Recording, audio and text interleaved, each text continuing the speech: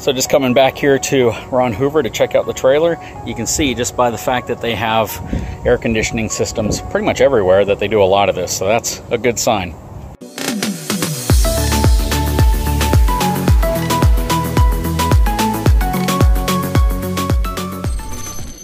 All right, guys, so I am back here in the cargo trailer, kind of following the progress of getting the AC unit installed. I love the fact that the guys here at Ron Hoover do this the right way. They got a gentleman here that specializes in roof repairs, and he does it the right way the first time. So, one thing he noticed right off the bat was that these really cheap little aluminum, I guess they're steel or aluminum, little cross braces do not do a very good job of supporting the weight of an air conditioning system that's going to weigh upwards of 90 pounds. So, what he decided to do was create these radius radius beams that go up and create an arch. They're anchored into the side C channel over here, and he's doing it on both sides of the inner portion and the outer portion, and he's going to create a slightly less radius coming down to slope back so there's not this gap above these other beams. He's done a really, really good job really engineering this to make sure that everything is safe, it holds the AC unit up without any problem, and that there's no play, especially when you're going over bumps. Everything might look safe and secure when it's in a shop, but the minute you hit bumps, large separations, potholes, things like that,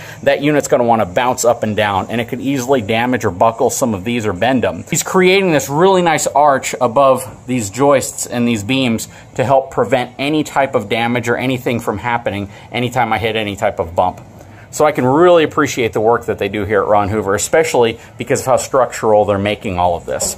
Anyways, guys, next video you see should pretty much be the wrap up of all this and us being able to test this out and see how well it cools down. That will help me determine if I need to add any type of insulation. So I'm thinking of actually pulling down this three quarter inch stuff right here and having the inside of it spray foamed, which would definitely work better, but I'm not 100% sure. I gotta see how this air conditioning performs. And this is a very large air conditioning unit for a very small interior. So I don't know if I'll even need to insulate it because I think this will probably be able to keep up with whatever heat generation forms in here. Anyways, guys, next time you see the interior of the trailer, the AC should pretty much be installed and we should be able to test it out and see how it works.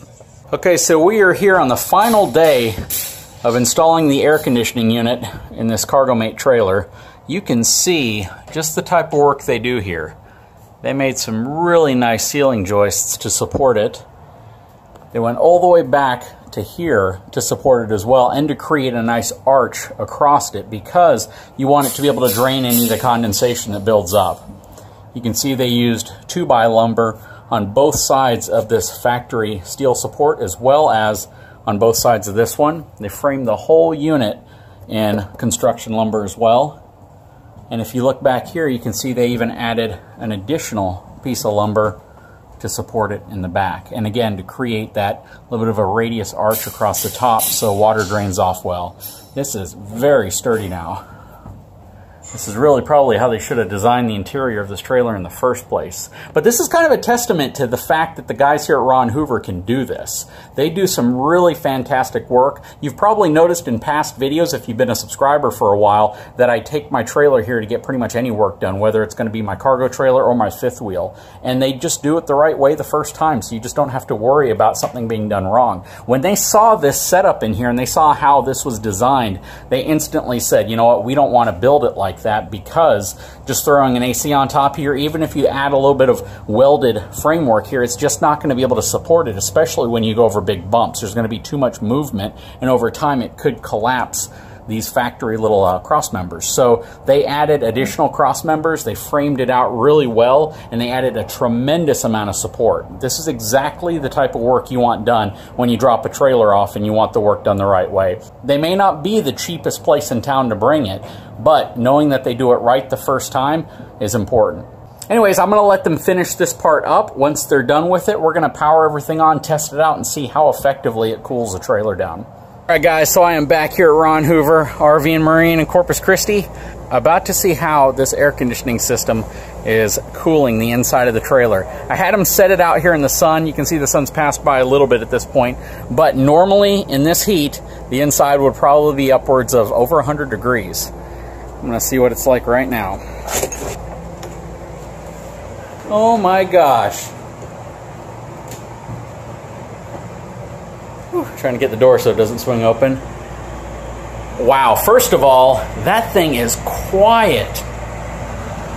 It is probably the quietest RV air conditioner I have ever heard. That is really amazing how quiet it is. So first of all, typically with an RV air conditioning unit, you know, this far away, you might have to talk up to be heard over it. But over here, I'm over here near my workbench, and you can barely hear it in the background. And the inside of the trailer right now, I would venture to say is in maybe the low 70s. It actually feels really good in here right now. So you can open up the vents right here. You have your controls right here to adjust how cold you want it and the fan speed. There's the air intake on the side and the output is right here. And it's blowing a good amount of air. The wiring is ran down the side here. You can see it right there.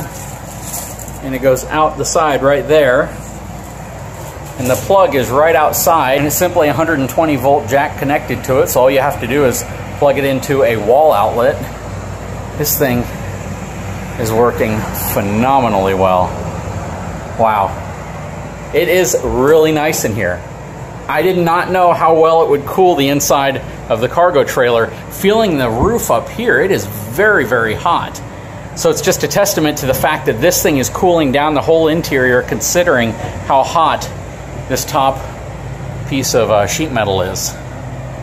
Very, very cool. Both literally and figuratively. Oh yeah, and something else I want to show you is I had them install these little fans. So these fans are actually pulling air out. These were the fans that I had shown you in another video. I put two of them on right here in the back they're not really pulling enough of the cool air out to make much of a difference in here, which is great. But what it's going to help with is when it's in storage and I don't have the air conditioner running and it's simply sitting there baking in the sun, it's going to help pull some of that hot air out. And there are two air inlets, one up here and one in the back corner that will actually allow it to feed air in so it's just not trying to vacuum air out of a sealed box essentially. Very, very cool. Guys, I am absolutely thrilled with this install. Check out the reinforcing they did. They added all this bracing here. They added additional bracing right here. They added more bracing here, more bracing here, bracing right here, plus they braced it right here as well. So this entire roof has been significantly upgraded over what it was originally. And it feels absolutely fantastic in here even with the door being, you know, halfway open. Very cool, guys. So we got 60 degrees coming out of here. It's actually colder than that, I bet. It's probably oh, so that's just mixture. staying here, but I can. Yeah, let's look at the infrared unit. Already had it down to 60. Okay. Infrared is showing between 62 and 50, 58, 55, 56, 54. So let's say about 54 degrees. It's, it's holding on 54. Okay, so 54 degrees. If you can, real quick, shoot that up at this panel right here. So we're at, what is that, 98.6 degrees there. And then hit this one right here, the metal.